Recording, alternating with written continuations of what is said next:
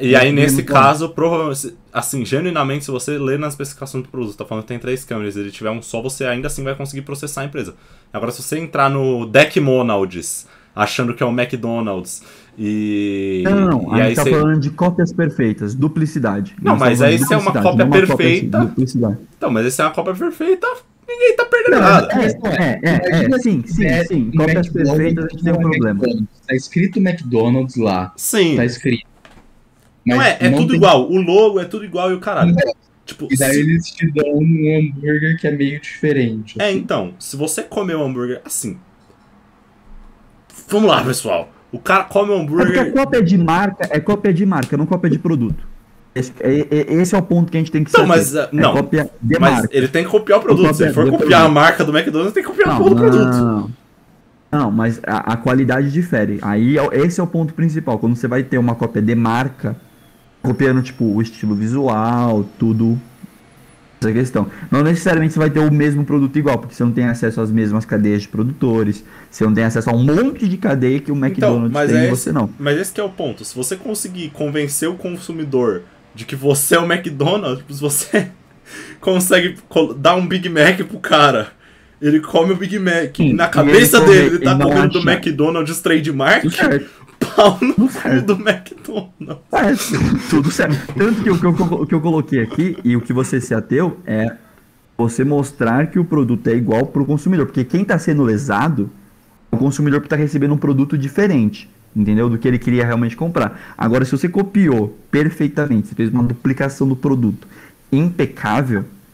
Pô, tem um cara aqui, tem um vídeo curioso, eu recomendo muito que vocês assistam, que é o cara que conseguiu construir um iPhone 5 na China comprando peças aleatórias. Tipo, cara, é genial. Esse cara é.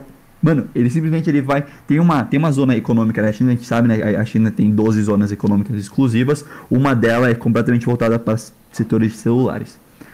Lá, tipo, mano, você vai andando na rua, você vê tela de iPhone, você vê, mano, processador da Apple A12 lá, tá ligado? Tipo, ó, o processador Apple, uou, tá ligado?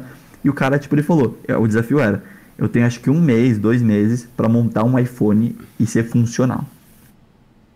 Mano, conseguiu. E, tipo, ele foi comprando peças da Apple, montou um iPhone.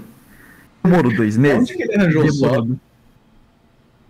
Cara, não sei como, que, como ele fez a questão prática do software, até porque tava em inglês e eu sou horrível em inglês. Ele pode ter Mas programado. É, mas tipo, funcionou. Isso seria impressionante. Ou ou às vezes já vem, tipo, direto na memória, na memória, na memória que você compra, tipo, da Apple lá, já vem com o software. Ou ele baixou de algum outro lugar. Mano, lá você tem tudo. Lá se você, tipo, é, o software default iOS 15. Ou vai chegar o. Aí a pessoa traduzindo é. Olha, Chai, chai, chai, chai. É, sei lá, velho. Imitação porca do chinês. Agora, É. deixa eu mostrar a seguinte situação pra vocês. Vamos supor que eu copie o trademark, tipo, a- o logo, o nome da marca e tal. E eu não entregue um produto que seja igual da marca original, mas eu não minta sobre isso. Então tá lá escrito iPhone 13. E daí todo o símbolo e tal, só que tá escrito todas as especificações, tipo, é, uma câmera, é, um botão, que eu acho que o iPhone 13 não tem botão. E sei lá, e daí chega o produto que é igualzinho que tava nas especificações lá. A única diferença é que tava você não enganou o consumidor, não é crime. 13 original da Apple original. Mas eu não, o produto que a pessoa viu lá e pediu chegou. Você tem algum Você não, se você não enganou o consumidor, eu acredito que não seja crime. Se o consumidor sabe, mano, esse produto é uma réplica. É tipo você vai naquelas lojas, tipo, mano, a loja assume que é réplica. Tipo, aqui em Batatais tem umas três. Você vai na loja, elas falam, olha, as camisetas são réplicas, tá? Tipo, eles não vão falar isso pro, pro imp, tá ligado? Mas quando você chegar lá, os caras falam, são réplicas, por isso que o preço é mais barato, né? 200 conto uma camisa da Hollister. Na época, era a época da moda da Hollister, tá ligado? Não sei se lembram dessa época. Mas enfim. Ah, é, é camisa fake, tipo, era idêntica a camisa da Hollister, mano. Mesmo pano, mesmo tudo. Até a etiqueta era igual. Crime. Eu não tô me sentindo lesado, porque o que o Kinsella coloca é que vai ser crime se você fala que é o McDonald's, quer oferecer o mesmo produto que ele, quem está sendo lesado é o consumidor, não a empresa. Porque, tipo, necessariamente todas. A ideia do McDonald's em si é uma ideia, uma concepção, logo isso não tem uma propriedade bem estabelecida, então você não pode colocar isso como um crime pro McDonald's. Mas sim, se você entregasse um produto que o cara realmente tá querendo um Big Mac, você tipo vende um Whopper mal feito, falando que é um Mac, tá ligado? Eu não sei, eu, né, eu, né, eu não sei se eu concordo com isso. Tipo, Se fosse o Gabriel falando, você ia concordar. não. Tipo. É, eu e o Gabriel discordamos em níveis muito mais fundamentais do que você. Com você a discussão é, é baixa, é sobre hambúrguer. A gente tava discutindo sobre criação, sobre se o tempo existe. Não, mas é. Falando sério. Tipo, o. Você me tirou do eixo agora, filha de uma puta. tipo, O que, que adianta você ter o, o QI de 120 sendo que não sabe expor suas ideias? Tipo, você percebe que o, o negócio é que o crime é você vender para um consumidor o produto que não é o produto que ele comprou.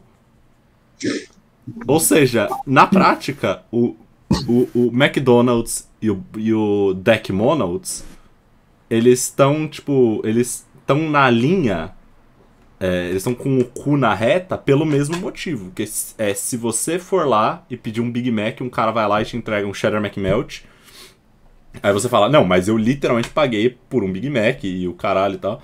É, aí o, o McDonald's vai sofrer as consequências disso, de te dar um produto que não foi o produto que você pediu. Isso a gente tá assumindo que por algum motivo esquizofrênico o gerente vai falar: Não! Não! Você vai ficar com esse lanche. E, e, tipo, isso é exatamente a mesma coisa que vai acontecer no Deck Monolds. Se você Não é- pedir não é o- que é uma Big mesma- Mac e, e eles entregarem o. Eu não vou conseguir falar Shadow McMelt ao contrário. Eles te entregarem outro lanche. É, tipo, o problema que eles vão ter é o mesmo. O problema não é alguém se passar pelo McDonald's e te entregar um lanche que é diferente do McDonald's. O problema É é, o próprio produto, McDonald's sim. entregar um lanche que é diferente primeiro Não, mas lugar. é uma Sim, não o É, próprio Mac, assim, mas é assim, tipo, você Não é uma fraude. Eu discordo. Eu discordo. Não é fraude. Se você entrega o mesmo produto, não pode ser fraude, porra. Não, mas, Não, mas é- a gente concordou disso.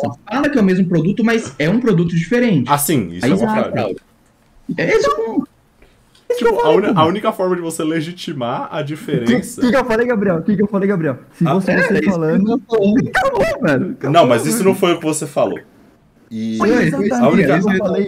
Então você é culpado do crime de não se expressar direito. Você reclama com o Gabriel que sabe falar português.